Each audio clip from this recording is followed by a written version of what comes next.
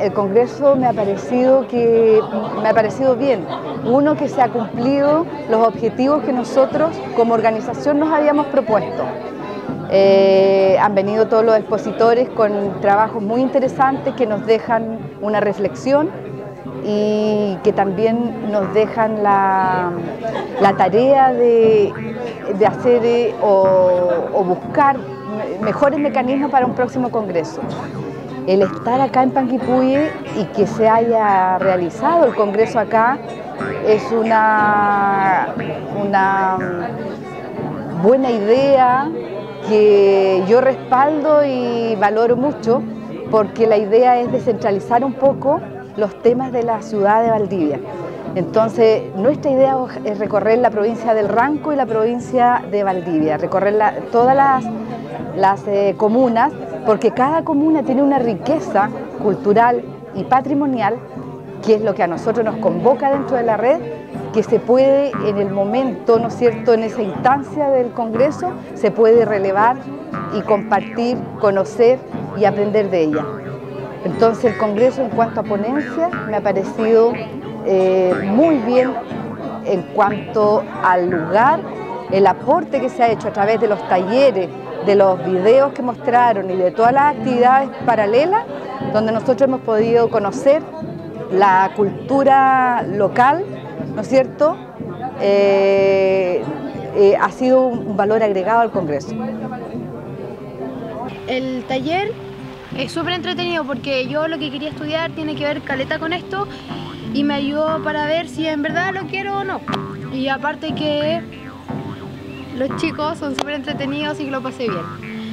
Ya, para mí el patrimonio es lo que nos identifica, lo que nos diferencia de otras comunas. El patrimonio cultural para mí es lo que nos identifica, es nuestra identidad ya sea como comuna, como país.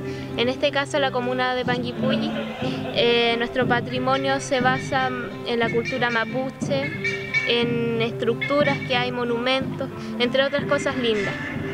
El taller audiovisual para mí fue una experiencia súper bonita, em, donde aprendimos a hacer entrevistas, a hablar con las personas y a manipular artefactos, herramientas como las cámaras, el audio, que son, son cosas que no sabía. El patrimonio cultural de Panguipulli para mí es como mm, todas las cosas turísticas, cosas que nos identifican. El taller audiovisual, ¿se puede decir?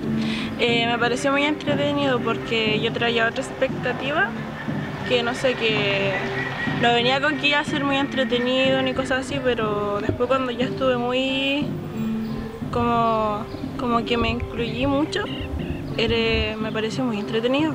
Me gustó mucho el taller de audiovisual porque encontré que es muy entretenido, aprendí a qué es lo que sea un reportero.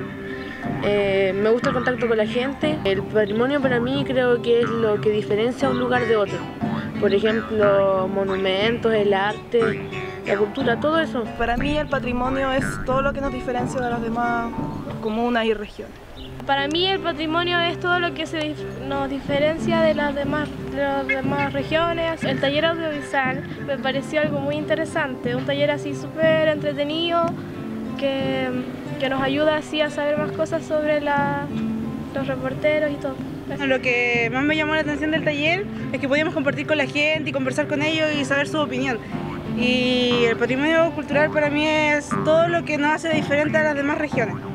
Bueno, el taller fue bien entrete, ya que aprendí muchas cosas que no tenía ni idea y fue como sentirse reportero por un par de días.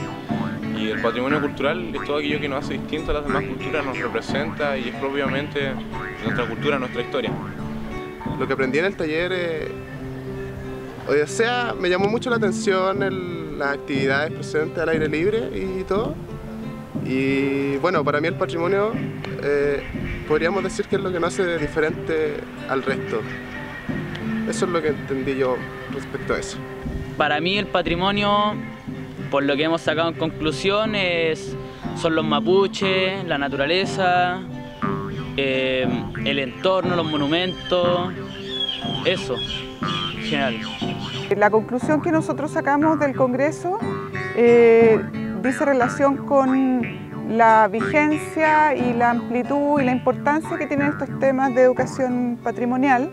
Eh, creemos que cada vez eh, resulta más importante generar ciudadanos de diferentes edades, como ustedes, o, más, o mayores o más pequeñitos, que en el fondo tengan, sean eh, comprometidos con su historia y con su cultura de tal manera de tener una ciudadanía educada, no solamente con la educación formal, sino que con nuestra historia y que sepamos, nos permita entender cuál es el lugar en el que vivimos, en qué historia participó, porque evidentemente eso eh, te genera un bienestar social y estético mucho mayor.